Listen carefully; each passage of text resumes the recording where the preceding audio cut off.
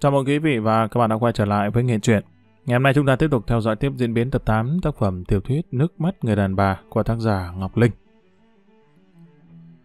Mỹ Ngọc choàng tỉnh dậy. Bóng tối tràn khắp gian phòng. Nàng nghe tiếng lá khô xào xạc bên hè, rồi có tiếng chân đi lần ra phía trước. Trời lặng gió nên nàng không thể ngỡ là tiếng gió sao động lá cành. Nàng chắc chắn có kẻ đang rình rập quanh nhà, nhưng chỉ nằm im, không dám động đậy. Ba Liêm ngủ ở trước nhà, không biết có nghe thấy gì không. Đột nhiên nàng nghe có tiếng gõ cửa rồi tiếng ba Liêm cất lên. Ai đây? Không có tiếng trả lời, Mỹ Ngọc ngồi nhòm dậy, bước xuống giường, chống ngực nàng đánh thình thình. Nàng nghe tiếng ba Liêm mở chốt cửa thì chạy vội ra khỏi buồng gọi. Chú ba, chú ba, đừng mở. Ba Liêm quay lại nhìn nàng rồi hỏi. Mợ có nghe thấy tiếng gõ cửa không? Mỹ Ngọc gật đầu, nói nhỏ.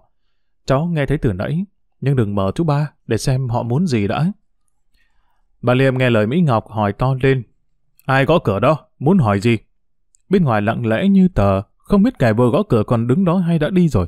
Bà Liêm có cảm tưởng như kẻ lạ đang trực hờ để hại người trong nhà. Biết đâu hắn đang ngồi núp ở bên ngoài để chờ ông ra. Mỹ Ngọc cũng nghĩ thế nên nói nhỏ với bà Liêm. Hay là mình chi hô lên cho bà con lối xóm biết. Bà Liêm lắc đầu, bảo nàng im. Chú bước tới bên nàng nói nhỏ vào tai. Khoan đã, để tôi đi vòng phía sau ra ngoài. Mỹ Ngọc kinh hãi ngăn lại. Không được đâu chú ba, có thể họ hại chú lắm. Bà Liêm cương quyết nói. Mở đừng có lo. Chúng không làm gì được tôi đâu. Ông bước lại cửa sau, nhẹ nhẹ mở chốt cửa, rồi lèn ra ngoài. Mỹ Ngọc đóng nhanh chốt cửa, tim đập thình thịch. Ra ngoài lúc này thật là nguy hiểm, nhưng nàng không biết làm sao cản ba Liêm. Nàng ra chờ phía trước, lắng tai nghe từng tiếng động. Nếu có cuộc xô sát trước nhà thì nàng sẽ chi hô lên ngay. Thời khắc nặng nề trôi qua, càng lúc Mỹ Ngọc càng lo sợ hơn. Bỗng nàng nghe tiếng ba Liêm kêu hấp tấp. Mở bình, mở bình, mở cửa mau. Mỹ Ngọc kinh hoàng trước những lời kêu gọi hấp tấp của ba Liêm, nhưng dù sao nàng cũng không thể bỏ rơi chú được. Nàng run tay mở lấy chốt cửa rồi kéo mạnh hai cánh ra. Ánh đèn trong nhà lan ra đến ngoài sân. Mỹ Ngọc toan chi hô lên cho bà con lối xóm đến tiếp cứu thì thấy ba Liêm đang ngồi bên cạnh một vật màu trắng. Ba Liêm bỗng quay lại bảo nàng, Mở bình, chuyện này thật là lạ kỳ. Mỹ Ngọc đến sát bên bà Liêm hồi hộp hỏi. Gì, gì vậy chú ba? Bà Liêm không đáp, cúi xuống ôm vật trắng trắng ấy lên, đưa ra chỗ sáng. Mỹ Ngọc sợ hãi lùi lại. Một đứa trẻ được quấn kín trong chiếc mền, đang ngủ say. Nàng sừng sốt. Trời ơi, con ai đây? Bà Liêm nhìn nàng tỏ vẻ nghĩ ngợi rồi trao đứa bé cho Mỹ Ngọc. Chú nói nhanh. Mợ gọi gì ba lên đi, chắc Bích Vân đây rồi. Tôi xem chúng còn lần quần đây chăng? Bà Liêm nói xong chạy vụt ra cổng, Mỹ Ngọc vừa mừng vừa sợ ôm chặt lấy đứa trẻ, kêu thét lên. Dì ba, dì ba. Đứa trẻ đang ngủ, choàng tỉnh dậy khóc thét lên. Mỹ Ngọc gọi dì ba thêm mấy tiếng nữa rồi ấm đứa trẻ chạy vào nhà. Dì ba nghe tiếng Mỹ Ngọc kêu réo trước dân thì chạy ra khỏi nhà hỏi tới tấp. Dì đó mở, dì đó mở. Dì nghe tiếng trẻ khóc thét lên thì càng lo sợ hơn. Dì bước đến cửa thì thấy Mỹ Ngọc đang ôm đứa bé trong lòng, sững sờ, không hiểu gì hết. Mỹ Ngọc bồng đứa trẻ đến trước mặt dì hỏi, có phải Bích Vân đây không dì? Dì ba bồng ngay đứa bé ấy nhìn kỹ vào mặt nó rồi reo lên. Trời, Bích Vân đây chứ còn ai nữa, nó ở đâu vậy mợ, ai tìm ra cháu đó? Mỹ Ngọc mừng đến phát khóc, nàng nghẹn ngào nói không ra lời. Họ, họ đem bỏ nó trước cửa nhà mình. Đứa bé thấy dì ba càng khóc tận hơn, nó nhìn quanh toàn là người lạ nên vừa khóc vừa kêu, ba, ba. Dì ba gỡ bớt lớp mền quấn quanh mình rồi dỗ ngọt. Bích Vân, đến đi con, đến đi con, bà ba đây nè. Kìa, con quên bà rồi sao? Trời ơi, tội nghiệp con tôi. Dì lại khóc khiến Minh Ngọc cũng không cầm được nước mắt. Nàng lúng túng chạy loanh quanh tìm đồ chơi, đưa cho dì ba, dỗ Bích Vân. Trong lòng nàng tràn ngập nỗi vui mừng. Nàng nghĩ đến chồng, đến Trần Vũ. Bích Vân đã có mặt ở đây rồi. Trời ơi, không hiểu đấng tiên liêng nào đó đã dành phép lành xuống mái nhà này, nên người ta đã trả Bích Vân trước ngày xử của cha nó. Nàng nhìn ra ngoài cửa, vẫn chưa thấy ba Liêm trở về. Dì ba đã giấu được Bích Vân, nó nín khóc. Hình như đã nhìn ra bà ba, người đã từng ẵm bồng nó, nó ngó giáo giác quanh mình, và miệng chỉ trực mếu. Dì ba vừa dỗ nó chừng chừng vừa hỏi Mỹ Ngọc. Anh bà Liêm đâu, làm sao tìm được cháu thế này? Mợ nói tôi chưa nghe kịp. Mỹ Ngọc vội đáp. Cả nhà đang ngủ thì họ đến gõ cửa, cháu không dám mở nhưng mà chú ba đi vòng ngả sau ra thì thấy Bích Vân, Hình như họ bỏ cháu ở trước cửa nhà rồi đi ngay, chú bà đang theo họ đó, không biết có gặp không? có tiếng động trước sân. Mỹ Ngọc và dì ba cùng nhìn ra, thấy ba Liêm trở về thờ hào hiền. Mỹ Ngọc hỏi ngay, Ờ, thế nào chú, có gặp ai không? Ây, không gặp ai hết, tôi chạy đến gần chợ lận đó. Phải hồi nãy mở cho tôi mở cửa thì bắt được họ rồi. Rồi ba Liêm hỏi dì ba, có phải cháu Bích Vân không? Dì ba gật đầu, phải, nhưng sao tự nhiên họ lại đem trả cho mình? Câu nói của dì ba khiến Mỹ Ngọc và ba Liêm đều phân vân nghĩ ngợi. Tại sao ba lùn lại đem trả Bích Vân? Phải có lý do gì chứ? Ba Liêm nhìn lên bộ phản thấy chiếc mền cũ thì bước lại mở tung ra như muốn tìm kiếm một vật gì. Mỹ Ngọc hỏi, chú tìm dấu tích của họ phải không? Phải, tôi chắc họ gửi cho mình thư từ gì chứ... Mỹ Ngọc lắc đầu, họ không dám đâu. Nếu gửi thư mình chụp làm bằng cớ, thì họ bị bắt sao? Câu nói của Mỹ Ngọc làm cho ba Liêm chợt nảy ra một ý nghĩ, ông nói ngay. Mở nói có lý, không chừng vì lý do đó mà ba lùn đem trả Bích Vân, trong khi hai Quỳnh bị giết chết, chị ta sợ liên lụy nên trốn mất. Nàng thấy mình cứ theo tìm kiếm Bích Vân, giết cháu thì chị ta không dám nên muốn âm thầm đem đến đây trả lại để khỏi bị phiền hà. Dì ba cũng nói, anh bà nghĩ đúng, vậy thì hôm trước chị ta lên đến đây hỏi nhà cậu Vũ là cốt thực hiện ý này. Mỹ Ngọc đến gần Bích Vân và nhìn nó với vẻ yêu thương rõ rệt. Nàng dỗ nó rồi choàng tay qua, bồng Bích Vân. Nó có vẻ sợ sệt nàng, nhưng nó cũng chịu cho nàng bồng. Nàng hôn lên đôi má tròn xinh của nó. Chú bà Liêm nhìn Bích Vân, vụt hỏi dì ba. Cháu nói được nhiều chưa? Dì ba đáp nhanh. Trước khi bị bắt cóc, nó mới biết bập bẹ kêu bà kêu ba, giỏi lắm là nói thêm vài tiếng. Mỹ Ngọc ngước nhìn ba Liêm hỏi.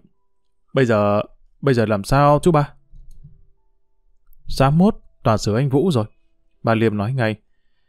Tìm được cháu thì đem ngay lên Sài Gòn cho cậu Bình, chứ còn tính gì nữa, có xe cũng nên đi ngay bây giờ.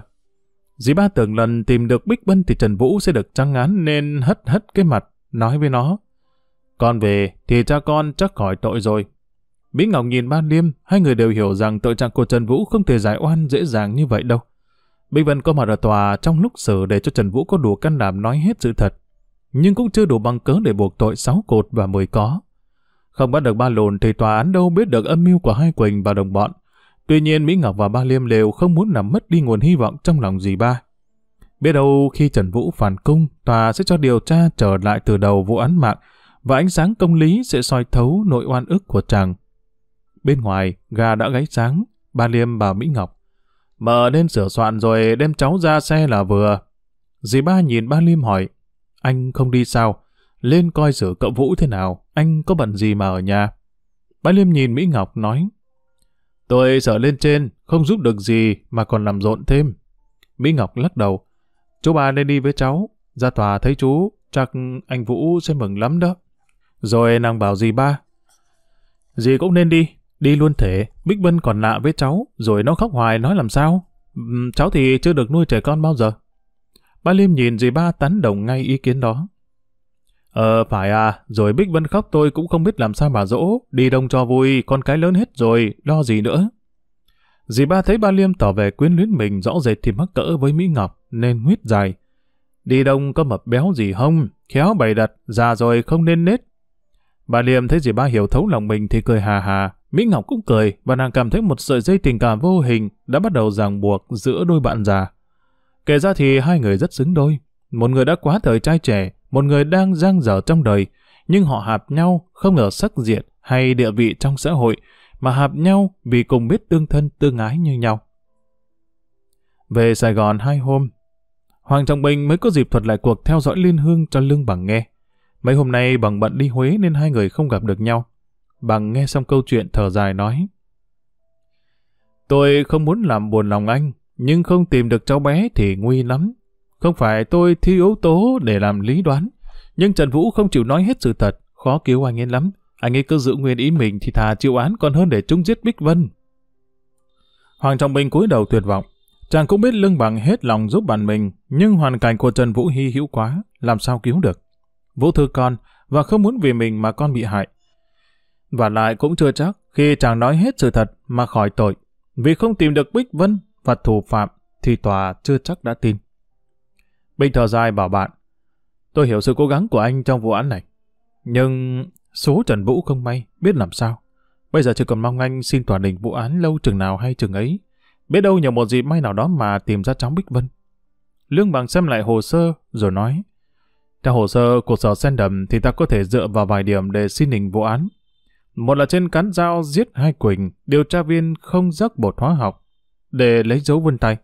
Hai là theo chiều dao thì nạn nhân bị đâm sau lưng, từ dưới lên trên. Nhưng theo lời khai của nhân chứng thì hai người đấu mặt nhau xô sát thì làm sao mà đâm như vậy được. Nhưng nếu anh Vũ phản cung mà không chịu nói hết sự thật, chưa biết tòa có khoan hồng cho đình vụ án chăng? Hoàng Trọng Minh hỏi gần lại, nghĩa là anh cũng chưa chắc xin đình được vụ án à? Không chắc đâu anh à, cũng tùy lượng tòa. Anh Vũ phản cung mà không nói hết sự thật, biết tòa có tin lời không? Ví dụ anh ấy không nói rõ lý do xuống rồng giềng đêm xảy ra vụ án mạng, thì tòa đâu chịu nghe theo. Hoàng Trọng Bình thấy nguồn hy vọng rất mong manh. Trần Vũ rơi vào một hoàn cảnh không lối thoát. Sự làm việc cầu thả của sở sen đầm càng khiến bạn chàng lâm nguy hơn. Một lúc chàng bảo bạn, bây giờ chỉ còn biết chờ may rồi, sáng mai tôi được thăm anh Vũ một lần nữa trước khi ra tòa. Anh nghĩ tôi có nên cho anh ấy biết rõ sự thật ở nhà trăng? Bằng hỏi, anh định cho biết về chuyện gì? Chuyện Bích Vân thì đã đành phải nói rồi, nhưng còn chuyện mẹ anh ấy, mình có nên giấu thêm nữa chăng? Lương Bằng lắc đầu nói, tôi tưởng không nên nói ra bây giờ, cứ giấu anh ấy cho đến khi vụ án kết thúc rồi cho hay cũng không muộn. Giữa lúc đó, người Tống Văn Thơ bước vào nói với Lương Bằng. Thưa ông có người muốn gặp ông, đàn ông hay là đàn bà? Dạ một ông trọng tuổi và hai người đàn bà nữa. Lương Bằng vội bảo, tôi đang có khách, bà họ chờ tôi một chút. Hoàng Trọng Bình đứng lên nói, anh tiếp thân chủ đi, tôi về đây. Câu chuyện chỉ đến thế thôi, bàn mãi cũng chẳng ích gì.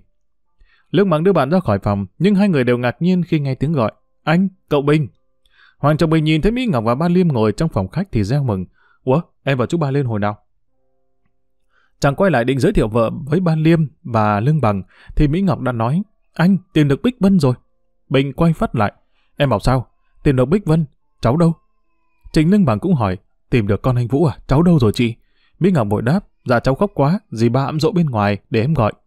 Mỹ Ngọc ra kêu dì ba rồi bồng Bích Vân vào. Lương Bằng chưa rõ hết câu chuyện nhưng vội mời mọi người vào phòng trong. Chàng không muốn nhân viên của mình hiểu rõ những nguồn khúc trong vụ án của Trần Vũ. Hoàng chồng mình nhìn thấy Bích Vân thì mừng lắm, trong lòng lại tràn trề hy vọng. Chàng hỏi liên miên. Thế nào? Sao lại may mắn như vậy em? Ai tìm được cháu mà tìm được bằng cách nào? Lương Bằng mời mọi người ngồi rồi bảo Hoàng Trọng Bình. Anh cứ hỏi lương miệng, làm sao mà chị trả lời được, hãy bình tĩnh đã chứ. Hoàng Trọng Bình mỉm cười nhìn bạn. Thú thật với anh, tôi mừng quá nên mất hết bình tĩnh. Giữa lúc mình tuyệt vọng không ngờ lại tìm được cháu. Lương Bằng không chú ý đến lời bạn, khẽ hỏi Mỹ Ngọc. Nhờ chị nói rõ xem, Ai đã tìm được cháu và tìm trong trường hợp nào có bắt được thủ phạm không? Mỹ Ngọc nhìn Hoàng Trọng Bình rồi đáp. Tự nhiên người ta mang đến nhà trả cháu lại anh ạ. Họ quấn cháu trong một chiếc mền rồi đặt ở trước hàng ba khuya hôm qua. Lương Bằng hỏi, làm sao chị hay được? Cả nhà đang ngủ thì nghe tiếng gõ cửa, nhưng lên tiếng hỏi thì không ai trả lời. Chú ba lẻn ra ngoài thì gặp cháu. Bình hỏi ngay, không bắt được người đem cháu đến à? Ba liềm đáp, tôi có chạy theo kiếm họ, nhưng không gặp. Dì ba nói xen vào. Đúng là người đàn bà hôm trước ở quán chú Bạch rồi cậu à. Lương bằng ngạc nhiên hỏi Hoàng Trọng Bình. Người đàn bà nào? Sao không nghe anh nói? Bình thuật lại chuyện đã qua rồi nói. Người đó chắc chắn là con mẹ ba lùn chứ không ai khác. Chị ta muốn gì mà trà Bích Bân lại chứ? Lương bằng xoay xoay cán bút trên tay lộ vẻ suy nghĩ. Câu chuyện đã rõ ràng lắm rồi. Ba lùn sợ bị liên lụy trong vụ án hai Quỳnh nên mang đứa bé đến trả. Bây giờ có bắt được chị ta thì cũng không đủ bằng cớ để buộc tội. Hoàng Trọng Bình hỏi Lương Bằng. Bây giờ tìm được cháu rồi, anh Trần Vũ còn sợ gì nữa mà không phản công hả anh? Lương Bằng gật đầu nói. Dĩ nhiên là như vậy. Ta đưa cháu Bích Vân ra tòa để xin tòa điều tra trở lại vụ án. Biết đâu sẽ nói ra nhiều chi tiết khác để gỡ tội cho anh Vũ. Dì ban lo ngại nhìn mọi người rồi hỏi Hoàng Trọng Bình. Chứ không phải tìm được cháu Bích Vân thì cậu Vũ trắng án sao? Hoàng Trọng Bình không biết phải trả lời như thế nào với người láng giềng trung hậu của bạn. Lương Bằng thay lời bạn nói. Có thể lắm gì ạ? Vì cháu Bích Vân sẽ giúp tòa thấy rõ nỗi oan nước của anh Vũ hơn. Lương Bằng nhìn đồng hồ rồi bảo Bình. Bây giờ ấy còn sớm. Tôi muốn vào gặp anh Vũ để báo tin tìm được Bích Vân cho anh biết. Anh nhắm xin phép ngày mai đem cháu vào thăm ba nó có được chăng? Lương Bằng suy nghĩ một lúc rồi nói. Để tôi vận động xem sao. Chắc có hy vọng mà... Mình nói tiếp. Bây giờ tôi đưa mọi người về khách sạn. Lát nữa tôi gặp anh ở đâu? Anh cứ ở phòng, tôi sẽ đến anh sau khi bàn qua với các bạn về trường hợp của Bích Vân. Hoàng Trọng Bình đưa Mỹ Ngọc, Ba Liêm và dì ba về khách sạn. Trong lúc Lương bằng thay áo đến gặp Trần Vũ. Buổi tối mọi người quây quần trong phòng khách sạn bàn bạc về chuyện Trần Vũ để chờ Lương bằng tới. Mỹ Ngọc bồng Bích Vân đứng trên hành lang nhìn xuống đường. Bích Vân lại đòi xuống sàn gác chạy cút bắt với nàng. Hôm nay Bích Vân đã quen với nàng lắm nên cứ bập bẹ nói chuyện luôn. Chẳng bộ cả ngày hôm qua mới về nhà cái gì cũng lạ nên nó cứ khóc. Chính dì ba là người đã từng bồng ngẫm Bích Vân lúc nhỏ cũng phải ngạc nhiên trước những tiếng nói bất ngờ của nó. Riêng Hoàng Trọng Bình chẳng hy vọng nhờ sự mau nói của Bích Vân mà Trần Vũ được trăng án. Khi ra trước tòa, trang bà Mỹ Ngọc hỏi thừa Bích Vân nhiều câu về ba lùn, nhưng hình như nó không biết gì hết. Chi óc non nớt của nó chưa hiểu được mình vừa thoát chết trong một cuộc bắt cóc, và đấy là giờ phút lâm nguy nhất trong cuộc đời cha nó. Thỉnh thoảng nó bập bẹ gọi, gì ba, ba, hay những tiếng đi ra sông, chạy đi. Vô nghĩa, chứ không nói được một lời nào có thể nhờ đó mà tòa tin rằng nó vừa trải qua những ngày thất lạc. Mỹ Ngọc cố gây tính thân thiện với Bích Vân và gợi cho nó nhớ đến bà nội, đến cha nó. Bích Vân có vẻ chú ý đến những cái tên quen thuộc đó và nó ra vào trong phòng khách sạn như có ý tìm kiếm những người thân yêu mà chắc nó chỉ còn nhớ mang máng thôi. Lương Bằng đến, chàng cháu biết đã báo tin mừng cho Trần Vũ, nhưng đã hết sức vận động cho Bích Vân vào thăm cha nó mà không được. Chàng thật phải một người gác khám quá tàn nhẫn, hắn đòi đủ thủ tục giấy tờ, nhưng thời gian quá cấp bách chàng không thể lo kịp. Trình Lương Bằng lại nhìn Bích Vân và hỏi Hoàng Trọng Bình. Anh đã hỏi thử xem, cháu còn nhớ gì không? Bình chán nản nói, Bích Vân không nói được nhiều anh à. Trí óc non nớt của cháu không ghi nhận được gì hết qua những ngày sống bên ba lùn. Lương Bằng thở dài. Dù cháu có nói được cũng khó làm cho tòa tin tưởng lời cháu anh à. Hoàng Trọng Bình lo sợ nhìn bạn, toan hỏi nhưng thấy có mặt ban liêm và dì ba trong phòng chàng lại thôi. Chàng nghĩ thầm chắc có luật sư vì Lương Bằng đã xét qua trường hợp Bích Vân nhưng không được lạc quan lắm. Sáng hôm sau, Hoàng Trọng Bình đành vào thăm Trần Vũ một mình trước khi bạn ra tòa. Trần Vũ không thấy mặt con, nhưng xem trường chàng vui vẻ lắm, chàng vào Hoàng Trọng Bình. Bích Vân còn sống là tôi mừng rồi. Dù có bị đầy tôi cũng đủ can đảm chịu đựng ngày trở về. Anh nghĩ xem, nếu cháu mất tích luôn rồi tôi bị đầy thì mẹ tôi làm sao sống được. Bích Vân về trong mẹ tôi cũng bất buồn hả anh? Hoàng Trọng Bình gật đầu cho bạn yên lòng rồi nói. Anh yên tâm, chúng ta có nhiều hy vọng lắm. Trần Vũ không chú ý đến câu nói đó lại hỏi. Ngày mai mẹ tôi có đến tòa không hả anh? Hoàng Trọng Bình nghẹn lời không biết nói sao. Thái độ của chàng làm cho Trần Vũ lo sợ hỏi. Sao anh? Có chuyện xảy ra ở nhà? Hoàng Trọng Bình gượng cười để chấn ăn bạn. Anh hay lo nghĩ vớ vẩn quá. Tôi chưa đáp, thì đã nghĩ đến chuyện này chuyện nọ. Ở nhà có xảy ra chuyện gì là tôi bảo cho anh biết ngay, tôi giấu làm gì chứ. Trần Vũ cúi đầu nói. Tôi vẫn biết như vậy. Nhưng mỗi lần hỏi tin nhà, thấy anh không vui, tôi hồi hộp, lo âu suốt cả đêm. Hoàng Trọng Minh biết mình đã lỡ nói dối thì phải nói thật khéo để tránh sự nghi ngờ có hại cho bạn trọng bình tĩnh đáp. Ngày mai bác gái không ra tòa xem xử anh được. Trần Vũ sững sờ. Sao vậy? Mẹ tôi không muốn gặp tôi ư? Bình nghiêm sắc mặt bảo bạn. Anh quẫn trí rồi sao? Anh quên là bác đau tim rất nặng ư? Lỡ khi ra tòa anh không được trăng án, liệu bác có chịu nổi sự buồn khổ chăng? Không kéo lại quá xúc động, rồi chờ bệnh nặng thêm nữa là khác. Trần Vũ chợt hiểu ý bạn và thấy rõ sự sơ suất của mình. Chàng chưa kịp nói gì thì bình tiếp. Tôi và anh Bằng đã bản tin kỹ nên khuyên bác ở nhà. Bao giờ tòa xử xong sẽ cho bác hay sau. Bác nhất định không nghe, chúng tôi khuyên dứt hết lời mới được. Trần Vũ cảm động nhìn bạn nói, tôi đội ơn anh rất nhiều. Xa mẹ lâu ngày tôi không kịp suy nghĩ cho cặn kẽ. Thật không có anh tôi không biết mình đã ra thế nào rồi. Ơn anh suốt đời làm sao mà tôi quên được. Hoàng Trọng Bình lắc đầu. Anh cứ nói như vậy hoài. Hãy lo nghiền ngẫm những câu anh sẽ phải trả lời trước tòa đi. Anh dáng bình tĩnh khi phản công và chậm rãi nói hết lý do đã giấu nhẹm từ bao lâu nay. Trần Vũ gật đầu nói, ông Bằng đã dặn dò tôi nhiều lần, tôi không biết tòa có chịu cho điều tra lại chăng? Hoàng Trọng Bình hy vọng nói, sao lại không, thế nào cũng phải điều tra lại chứ. Hết giờ thăm, Bình từ giá bạn ra về, Vũ đã nói với chàng một câu cuối cùng. Nếu tôi có bề gì, chắc còn làm phiền anh nhiều lắm. Trong phiên tòa đại hình sáng nay, chỉ có vụ án Trần Vũ cướp của giết người là quan trọng hơn hết. Mấy ngày qua, báo chí thủ đô có thuật lại vụ án rồng riêng với nhiều chi tiết rõ ràng khiến người hiếu kỳ đến xem rất đông. Tòa chưa khai mạc mà ngoài hành lang đã chật người xem. Kẻ hiếu kỳ phần đông đều nghe danh Trần Vũ, tay võ sĩ khét tiếng ở Hậu Giang. Họ thường nghe nói rằng là người hào hiệp, khí khái mà nay mang tội sát nhân vì tiền, thật ai cũng phải ngạc nhiên. Một số khác là nạn nhân của hai Quỳnh, họ đến tòa chỉ mong kẻ đã trả thù dùm họ được trắng án. Vợ chồng Hoàng Trọng Bình, Ban Liêm và dì ba đều có mặt ở tòa từ sáng sớm.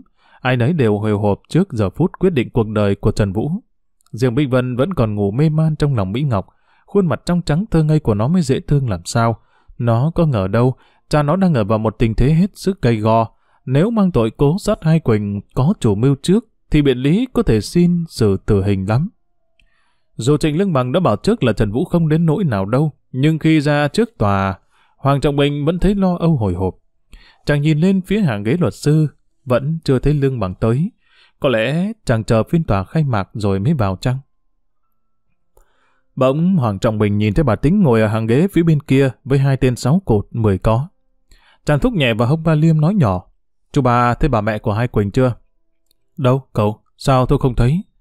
Hàng ghế bên mặt kia, bà ta mặc chiếc áo màu nâu sậm đó. Bà Liêm kêu lên nho nhỏ. À, thấy rồi. Ngồi gần bên hai tên liêu manh đó mà Cùng lúc ấy sáu cột và mười có quay đầu nhìn về phía Hoàng Trọng Bình. Hình như bà Tính cũng đã thấy chàng nên chỉ cho chúng biết. Sáu cột, mười có vụt thấy Mỹ Ngọc bồng một đứa bé đang ngủ say, thì lo lắng nhìn nhau. Chúng trùng đầu lại nói nhỏ nhỏ như bản tính một chuyện gì, rồi thì mười có vụt đứng lên ra hành lang, đến bên luật sư Lâm Hoành. Binh mở nhỏ vào tay ba điềm. Chú ra ngoài kia, đến bên mười có và trạng sư của chúng, xem thử họ bàn bạc những gì. Mười có không biết mặt chú đâu. ba Liêm nghe theo lời Hoàng Trọng Bình đến gần bên mười có dò xét. Nhờ hành lang có nhiều người nên Lâm Hoành mười có không chú ý đến sự có mặt của ba Liêm ở sau lưng. Mười có nói với Lâm Hoành nhiều lắm, nhưng ba Liêm chỉ nghe được đoạn sau. Nếu đứa bé là con Trần Vũ thì thế nào nó cũng phản công. Ông liệu chúng có quật ngược được mình không? Lâm Hoành lắc đầu nói. Ra tòa thì chắc chắn phản công rồi, nhưng khó có đủ yếu tố để làm cho tòa tin theo được. Lâm Hoành bỗng nói, Trần Vũ bị bắt, còn ai ở ngoài muốn luật sư lo choán vậy? Mười có hất hàm về phía Hoàng Trọng Bình nói, đó, mấy người đang ngồi trên ghế hàng nhì phía bên trái là bọn của nó đó. Tên cao lớn hơn hết là Hoàng Trọng Bình, một đền chùa Hậu Giang. Lâm Hoành gật đầu nói, Thôi được rồi, tôi đã biết thêm vài chi tiết, đợi thủ phạm ra tòa xem sao đã. Lâm Hoành đi thẳng lại phòng trạng sư, ba Liêm cũng từ từ trở lại chỗ ngồi lúc nãy. Ông thuật lại cho Hoàng Trọng Bình nghe những lời đối đáp giữa Lâm Hoành và Mười Có, rồi ông tiếp. Xem chừng bọn chúng cũng chưa có biện pháp ứng phó với ta khi cầu Vũ phản công đâu. Hoàng Trọng Bình gật đầu nhìn đồng hồ, thấy còn hơn 20 phút mới khai mạc. Tự nhiên chẳng nghĩ đến Liên Hương. Tại sao hôm nay xử Trần Vũ mà vắng mặt nàng? Nàng có giận mẹ, không đi cùng với bà, thì chắc nàng cũng lén lút đến nghe tòa tuyên án Trần Vũ chứ. Hoàng Trọng Bình nhìn khắp gian phòng xử, để ý tìm kiếm Liên Hương trong số những người có mặt trong phiên tòa hôm nay. Tuy nhiên chàng vẫn không tìm được đôi mắt rất quen thuộc với mình. Chàng chắc Liên Hương không đến. Mỹ Ngọc để ý đến thái độ của chồng và nàng lầm tưởng chàng muốn kiếm Trịnh Lương Bằng. Nàng khẽ hỏi Bình, sao anh Bằng đến trễ quá vậy mình? Hoàng Trọng Bình đáp ngay, anh ấy đến lâu rồi, chắc đang bàn bạc với các bạn trong phòng. Mỹ Ngọc thấy Bình thản nhiên đáp lời mình, đôi mắt vẫn không rời hàng ghế khán giả, thì hỏi nhỏ. Anh tìm ai vậy? Hoàng Trọng Bình nhìn vợ và thấy nàng nhìn mình với vẻ nghi ngại thì nói ngay. Anh đang tìm Liên Hương. Có bà tính kia mà, sao không thấy nàng? Sự thẳng thắn của chồng làm cho Mỹ Ngọc không nghi ngờ gì hết. Nàng nhớ lại lời nói của Liên Hương hôm ở rồng giềng. Tôi còn mặt mũi nào mà ra tòa để nghe sự án anh Trần Vũ, tôi muốn lánh ra trốn này. Câu nói đó đột nhiên hiện lên trong đầu Mỹ Ngọc và nàng còn hình dung được nét mặt đau khổ của Liên Hương. Nàng bảo Hoàng Trọng Bình, chắc Liên Hương không đến đâu. Nàng đã nói với em là chỉ muốn bỏ xứ mà đi. Bích Vân bị hơi người nực nội, riêng hư hử rồi trở mình. Mỹ Ngọc cúi xuống vỗ về nó. Trong lúc dì ba lấy tờ báo quạt cho nó, Mỹ Ngọc nhìn Bích Vân và thấy phảng phất hình ảnh của Liên Hương trên khuôn mặt xinh xinh ấy. Nàng lại nghĩ, nếu giờ phút này Liên Hương đến tòa và thấy mình đang bồng Bích Vân, không hiểu nàng sẽ nghĩ sao. Có thể nàng dám đến nhìn con lắm. Giả sử có trường hợp đó xảy ra, Mỹ Ngọc không biết phải làm thế nào. Giữ Bích Vân lại hay là trả cho Liên Hương. Tự nhiên nàng ôm sát Bích Vân vào lòng, một thứ tình cảm mới mẻ giạt rào dâng lên trong lòng nàng. Mới mấy ngày qua mà nàng thấy quyến luyến Bích Vân như đã sống với nó từ khi nó mới lọt lòng. Nhiều khi Mỹ Ngọc cũng không ngờ là mình yêu quý trẻ con đến như vậy. Hoàng Trọng Bình thấy vợ ôm sát Bích Vân vào lòng thì mỉm cười hỏi, em thương cháu lắm ư? Mỹ Ngọc gật đầu, em có cảm tưởng Bích Vân là con ruột của mình anh ạ. Em đang nghĩ nếu Liên Hương đến đòi cháu bây giờ, không biết em phải làm sao? Hoàng Trọng Bình mỉm cười nói, thì làm sao nữa, em phải giữ cháu chứ, anh Vũ mới chính thức là cha ruột của Bích Vân mà. Minh Ngọc nhìn chồng gật đầu không đáp, giữa lúc đó trung độ báo hiệu phiên tòa khai mạc. Khán giả trong phòng xử từ từ im lặng. Ông tranh án, hai ông hội thẩm và biện lý lục sự đã an tọa. Trường toàn lật bản đăng đường, kêu tên tội nhân phải ra chức vành móng ngựa. Trong phiên xử hôm nay, đến bây giờ Hoàng Trọng Bình mới thấy Trịnh Lương Bằng đi vào với mấy luật sư nữa. Trong đời Bình chưa bao giờ chẳng hồi hộp lo âu như lúc này. Chàng nhìn về mặt hiền từ của ông tranh án, trong lòng nghĩ ngợi miên man. Là nơi đây chỉ một lời phán quyết của ông sẽ thay đổi cả cuộc đời Trần Vũ. Chàng mong mỏi ở sự sáng suốt công minh của phiên tòa này sẽ soi thấu nỗi ức oan của Trần Vũ trong vụ án mạng và trả chàng về với đứa con bé bỏng bơ vơ. Mỹ Ngọc ôm sát Bích Vân vào lòng, một tay nắm lấy chồng. Bình thấy bàn tay của vợ lạnh ngắt thì đoán biết được nỗi lo sợ trong lòng nàng. Trường tòa cho gọi bị can thứ nhất, chính Trần Vũ là người được xử trước tiên trong phiên đại hình hôm nay. Hai người lính đưa Trần Vũ từ phòng bên cạnh ra trước mảnh móng ngựa. Vũ mặc quần tây, áo sơ mi trắng bò ngoài, đi chân không, hai tay thong thả không bị còng. Chàng đi chậm chậm, đôi mắt hướng về phía khán giả có ý tìm những người thân. Hoàng trọng bình biết bạn muốn thấy mặt con, nên bảo Mỹ Ngọc bồng Bích Vân đưa lên cao. Trần Vũ thấy Bích Vân nằm ngủ trong lòng Mỹ Ngọc thì nhếch miệng cười. Nhiều lời bàn tán lao nhau dưới hàng ghế khán giả. Ông tranh án đập chày xuống bàn để giữ trật tự. Đây là lần đầu tiên Mỹ Ngọc gặp Trần Vũ. Dì ba thấy Vũ ốm hơn trước nhiều nên khóc dấm dứt. Bà Liêm cũng rơm dâm nước mắt nhưng lại bảo vào tai dì ba. Đừng khóc, chắc cậu Vũ không sao đâu. Lục sự bắt đầu đọc bản cáo trạng rất dài kể tội trạng của Trần Vũ trong vụ án mạng ở Rồng Giềng vào đầu tháng 4 với tất cả chi tiết. Ông tranh án bắt đầu chất vấn Trần Vũ. Vào đêm hùng 5 tháng 4 dương lịch, anh có nhận đã mưu sát hai Quỳnh tại một sòng bạc ở Rồng Giềng không? Trần Vũ giữ vẻ điềm nhiên đáp.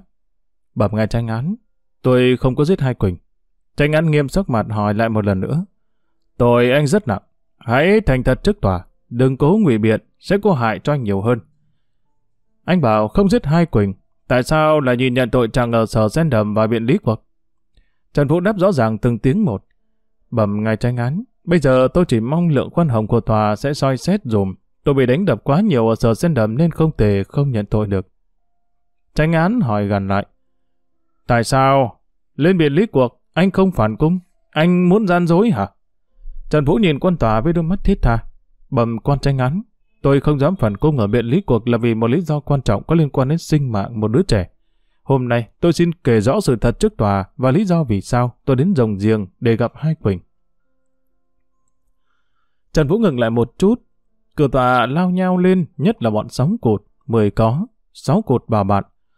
Chết rồi, bên nó đã tìm được Bích Vân thì chắc chị ba lồn cũng đã bị bắt, thế này thì mình lâm nguy mất. mới có liều lĩnh hơn, vội nói. Không sao đâu, để chờ xem sao bọn chúng cũng chẳng có bằng cớ gì làm hại được mình. Thấy khán giả trong phòng sửa quá xôn xao vì lời phản cung của Trần Vũ, ông tranh án lại phải gõ chày xuống bàn để giữ trật tự. Ông hỏi Trần Vũ, nghĩa là bây giờ anh muốn phản cung phải không?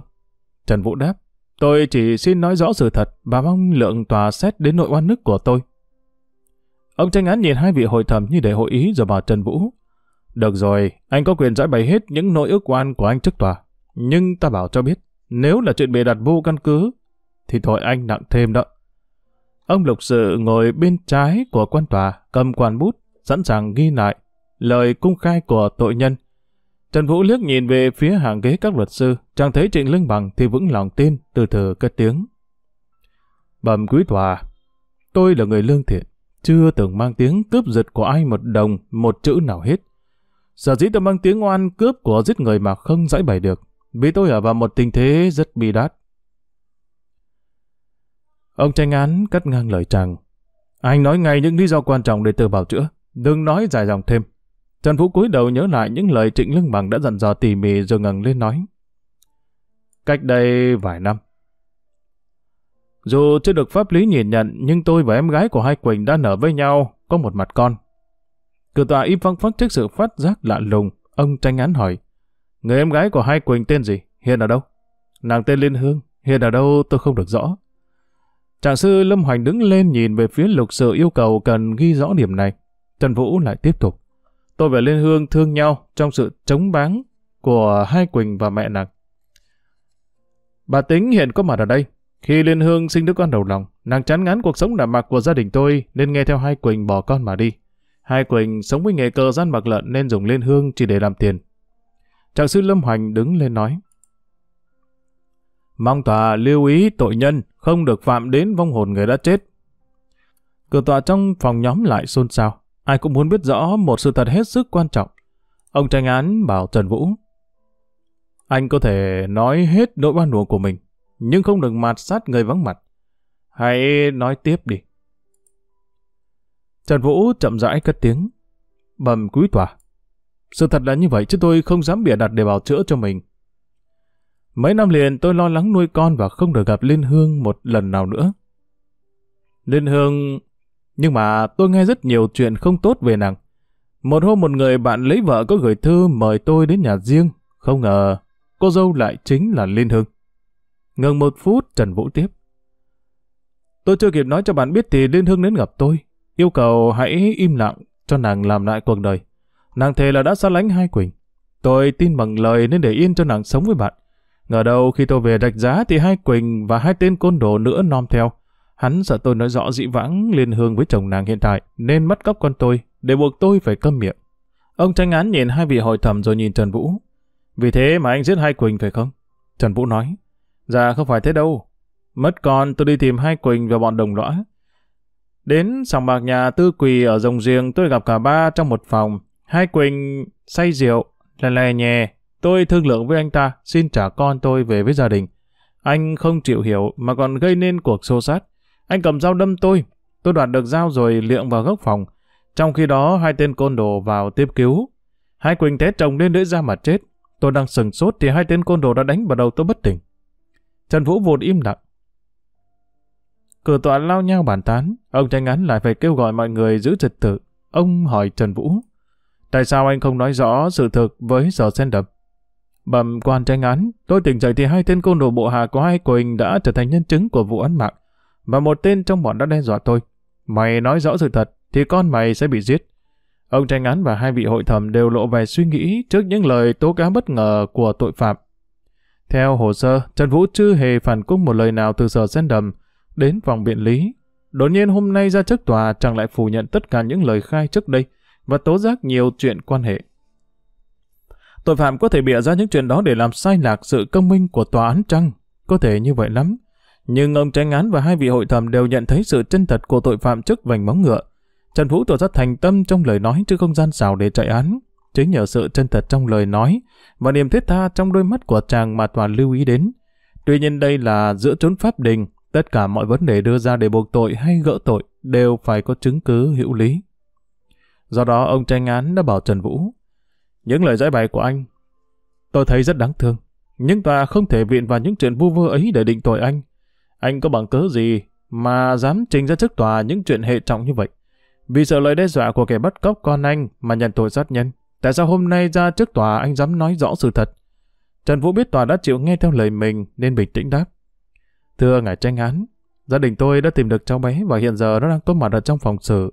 Chính vì thế mà tôi mới dám phản cung. Đến khi đó, Trình Lương Bằng mới nhân danh luật sư của bị cáo xin được nói. Ông tranh án chấp nhận lời yêu cầu đó. Trình Lương Bằng ra giữa tòa trình bày một cách rõ ràng tất cả những bí ẩn khiến Trần Vũ phải lặng thinh, nhận chịu trọng tội mà mình không dám. Sau cùng chàng nói thêm, Thưa quý tòa, thân chủ của tôi lâm vào một hoàn cảnh rất đáng thương. Vì thế cô nên không chống nổi mưu đồ sắp đặt của bọn người hiểm ác. Đến ngày giờ này thân chủ tôi may mắn tìm được con thì mới dám tố cáo sự thật trước tòa để mong giải được nỗi oan nước của mình. Có những người láng giềng sẽ chứng thực những lời thân chủ tôi đã khai hôm nay. Trịnh Lương mà ngừng một phút rồi nói tiếp. Trong hồ sơ của Sendam có nhiều điểm rất mù mờ, chúng tôi không thấy ghi rõ việc lấy dấu tay. Còn về vết thương của nạn nhân thì từ sau lưng trổ ra phía trước, trái hẳn lại lời khai của nhân chứng là bắt gặp hai người đấu mặt với nhau xô sát. Điểm thứ ba, còn hai nhân chứng khai trái ngược nhau. Mười có thì bản thân chủ tôi theo dõi hai Quỳnh nhiều đêm, còn sáu cột thì khai là hai người chưa gặp hai Quỳnh và Trần Vũ. Vì những nghi vấn đó, chúng tôi thay mặt thân chủ tha thiết mong quý tòa mở lượng khoan hồng cho đình vụ án lại để điều tra bổ sung và để chúng tôi kịp nộp hồ sơ cho các nhân chứng. Xin hết và cảm ơn quý tòa. Tòa tuyên bố tạm dừng 5 phút để xét lời yêu cầu của trạng sư Trịnh Lương Bằng. Ông tranh án và hai vị hội thẩm cùng vào phòng trong để hội ý. Trần Vũ đưa về ngồi ở hàng ghế tội nhân. Trịnh Lương Bằng đến gần chàng nói. Anh trả lời bình tĩnh như vậy được lắm. Tôi tin thế nào tòa cũng đình lại để điều tra bổ túc. Trần Vũ nói. Tôi lo quá không ạ? Giữa lúc ấy Mỹ Ngọc đã đánh thức Bích Vân dậy và bồng nó ra trước cửa phòng xử cho Trần Vũ thấy mặt con. Trình Lương Bằng thấy nàng lên bảo Trần Vũ. Anh nhìn ra cửa xem cháu kìa. Trần Vũ thấy con vui mừng lắm, nhưng không biết làm sao bồng được con cho thỏa lòng mong nhớ. Chàng rơm rơm nước mắt bảo Trịnh Lương Bằng. Phải chi tôi có giết người cướp của thì cũng đành chịu cảnh đau đớn này. Đằng này tôi vô tội mà thấy con trước mặt không bồng được. Thật khổ sở biết chừng nào. Bên ngoài hành lang, Mỹ Ngọc bảo Bích Bân ngoắc gọi cha nó. Bích Bân nào thấy rõ mặt cha nhưng cũng ngoắc lia lịa. Trần Vũ thấy con như vậy thì càng chua xót hơn. Trịnh Lương Bằng thông cảm được nỗi đau đớn trong lòng Trần Vũ nên vỗ vai chàng nói. Lâm vào hoàn cảnh như anh thì không còn ai khuyên bảo gì được nữa. Anh có chịu đựng được hay không là do chính lòng anh. Hãy gắng sức vượt qua hồi đen tối trong đời. Trần Vũ ngước nhìn Trịnh Lương Bằng nói. Tôi đội ơn ông nhiều lắm. Thế nào cũng có ngày qua khỏi tay ương, phải không ông? Chuông dung báo hiệu phiên tòa họp trở lại. Các vị hội thẩm vừa ngồi xuống thì ông tranh án tuyên bố. Sẽ thấy trong vụ án này còn nhiều nghi vấn nên theo lời yêu cầu của luật sư Trịnh Lương Bằng, tòa tuyên bố đình vụ án của Trần Vũ để điều tra bổ túc. Trần Vũ mừng rỡ khi nhìn Trịnh Lương Bằng rồi đưa mắt xuống hàng ghế khán giả tìm Hoàng Trọng Bình, đưa tay vẫy bạn. Tòa tuyên bố sửa vụ khác, thì hai người lính ra dẫn Trần Vũ vào trong để đưa về khám. Bình nhìn theo bạn đến khi khuất rồi bảo Mỹ Ngọc. Tòa đình vụ án thì anh Vũ có nhiều hy vọng lắm. bà Liêm, dì ba chưa hiểu rõ số phận Trần Vũ ra sao, nên hỏi chàng. Sao cậu Bình, định lại rồi chừng nào xử, bây giờ mình gặp cậu Vũ có được không? Hoàng Trọng Bình đưa mọi người ra hành lang rồi đáp. Tòa đình để điều tra bổ túc, luật sư của mình sẽ đưa ra những bằng cớ chứng minh lời khai của anh Vũ trước tòa. Chú ba và dì ba cũng phải làm chứng giúp anh Vũ, bao giờ đủ yếu tố thì tòa sẽ xử lại. Mỹ Ngọc lo ngại hỏi, trong thời gian đó nếu sáu cụt và mới có trốn mất thì làm sao? Trịnh Lương Bằng vừa đi tới nghe câu nói của Mỹ Ngọc thì cười đáp. thì chị nên cho tiền thêm để chúng trốn thật xa, vì chúng có trốn Trần Vũ mới có hy vọng trắng án. Nhưng bọn chúng không bỏ trốn đâu chị.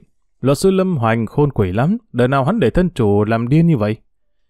Lương Bằng chợt lặng im vì thấy sáu cột, mười có và bà tính từ trong phòng sửa bước ra. Họ đi qua mặt mọi người để xuống thang lầu. Bà tính thấy Hoàng chồng mình lên cúi đầu bước mau, sáu cột cũng thế, hắn nhìn thẳng ra phía trước như không muốn ai để ý đến mình. Dương mới có thì nhìn Trịnh Lương Bằng với đôi mắt thù hằn rõ rệt. Hoàng Trọng mình lầm bầm, đúng là quân côn đồ. Bà Liêm bỗng hỏi Trịnh Lương Bằng, luật sư, liệu tôi có giúp gì được cho cậu Vũ không? Lương Bằng mỉm cười nói, có chứ, chú bà là nhân chứng quan trọng hơn hết. Tòa đã chấp nhận án tiên thẩm thì thế nào cũng điều tra bổ túc để xét lại những nghi vấn mà tôi vừa trình bày lúc nãy. Hoàng Trọng Minh hỏi, tòa sẽ điều tra cách nào anh? Bằng đáp, tòa Vũ cho phòng dự thẩm xem xét các nguyên vấn trong vụ án mạng. Họ sẽ hỏi anh Vũ trở lại những lời đã phản cung. Tất nhiên anh Vũ phải khai rõ chuyện sáu cột mười có đồng lõa với hai Quỳnh bắt cóc Bích Vân.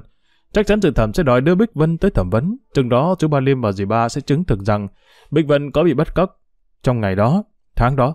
Tóm lại chú Ba và chị Ba cứ khai hết sự thật. Thấy sao nói vậy, không nên thêm thắt làm gì.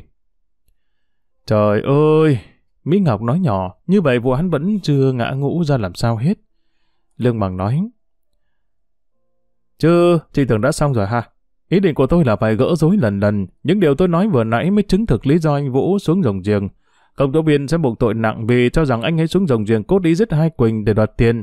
Ta đã có đủ bằng cớ anh ấy đến rồng giềng để tìm con thì vụ án sẽ chuyển sang một hướng khác. Chứ nào ta đã chứng thực được anh ấy không giết hai Quỳnh đâu. Mọi người đều lặng thinh, nhất là Hoàng Trọng Bình. Chẳng cảm thấy việc cứu Trần Vũ còn gặp nhiều cam go lắm. Lương Bằng lại tiếp. Tuy nhiên, ta có rất nhiều hy vọng để gỡ tội cho anh ấy. Nếu dự thẩm xét thấu được âm mưu bắt cóc Bích Vân của bọn sáu cột mười có thì ta không còn sợ gì nữa. Nhờ những lời khai trái ngược của chúng ở sở sen đầm mà dự thẩm có thể buộc tội chúng làm chứng gian. Chừng đó những lời mà chúng khai về Trần Vũ sẽ không còn giá trị nữa. Những lời sau cùng của Lương Bằng làm cho mọi người hy vọng trở lại. Bích Vân đã ngủ tiếp trên tay Mỹ Ngọc, với tuổi ngây thơ khờ dại. Nó nào biết đâu, cha nó vẫn chưa thoát khỏi tình cảnh nguy ngập. Trịnh Lương Bằng nhìn đồng hồ rồi bảo Hoàng Trọng Bình. Chúng ta tạm chia tay.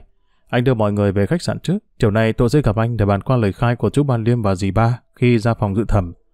Bây giờ tôi phải lo một vụ tiểu hình khác. Chàng nói xong chào mọi người rồi đi thẳng xuống phòng xử những vụ tiểu hình. Vợ chồng Hoàng Trọng Bình, Ban Liêm và dì Ba cũng ra về. Bỗng có tiếng khóc ngất từ trong phòng xử vọng ra, rồi hai ba người dìu một thiếu phụ ấm con đang khóc sướt mướt đi ra cửa. Mọi người cùng đứng dừng lại chưa hiểu chuyện gì, trong phòng xử nhiều người đổ xô ra xem. Dĩ bác tò mò hỏi người đàn bà đứng bên cạnh, cô ấy làm sao vậy bà? Người đàn bà đáp ngay, chồng cô ấy giết bạn để đoạt tiền, bị tòa kêu án tử hình, bản án vừa công bố xong.